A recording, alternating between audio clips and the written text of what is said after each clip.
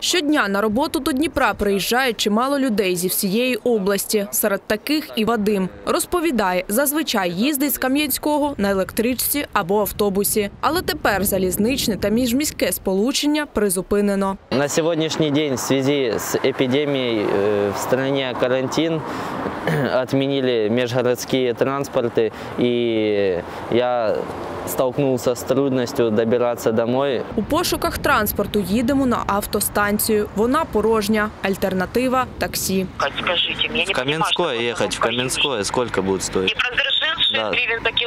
Від дому Вадима відділяють 50 кілометрів, тож поїздка на таксі обійшлась би йому у 300 гривень. Дві години пошуків і врешті-решт випадково натикаємось на водія, який набирає попутників до Кам'янського. Везете ли вы в Каменское Да, людей? И как дорого это обходится? Я попутный транспортом 50 гривен, п- пожалуйста. И часто к вам вообще пассажиры? Я просто подвозил людей в Днепропетровск, попросили. И сейчас еду обратно, чтобы пустым не ехать.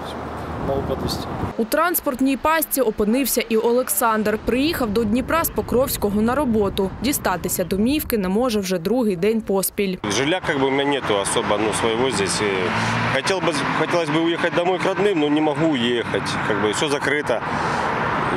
Обратился в 102, они мне ничем не могут поня- помочь. Говорят, пускай там друг другу, там Баблакар, вот это вот приложение, на которое я уже неоднократно заходил, ну там ничего нету, никаких поездок, попутчиков я не нашел.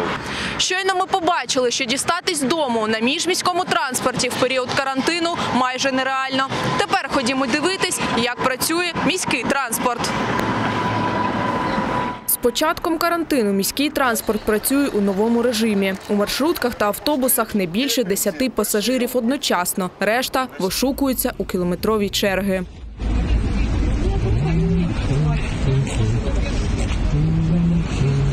Така ситуація на зупинках Дніпра не тільки в час пік, кажуть пасажири. До таких заходів безпеки ставляться неоднозначно. Я считаю, что они оправданы, но не в случае вот ограничения посадочных мест конкретно в автобусе Лоцман. Слишком сильное ограничение, очень мало людей берут.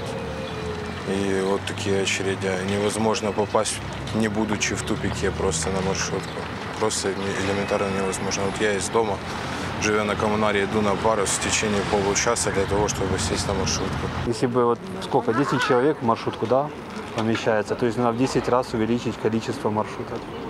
То есть это, думаю, так бы было оправдано. А так такое неудобство больше. Не все ж люди дома сидят, потому что работать кому-то ж надо. Незручності під час карантину зазнають і водії маршруток. маски неудобно тоже, ну, дышать. Как бы, ну, чуть-чуть зарплата у нас тоже уменьшилась, как бы. Ну, а так в основном просто работа. Обмеження з перевезення пасажирів і для електротранспорту. Всередині має бути не більше 20 пасажирів, але, як бачимо, водії правил не дотримуються. Аж раптом на кінцевій зупинці водій тролейбусу передумав і не став пускати до салону більше 20 пасажирів. Мабуть, згадав, що за порушення правил карантину штраф. Я можу сказати, що електротранспортники е, дуже суворо порушують е, правила перевезення, тобто не те, щоб там 10 або 20, а напихають повні салони.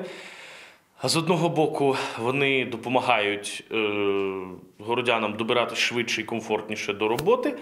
А з іншого боку, вони наражають тих самих городян на небезпеку зараження. Е, На водіїв чекає за це порушення штраф від 17 до 34 тисяч гривень. За підрахунками фахівців, після перших днів карантинних обмежень на лінію відмовилися виходити зо дві сотні перевізників. Марія Бондар, Андрій Лата, Open News, телеканал відкритий.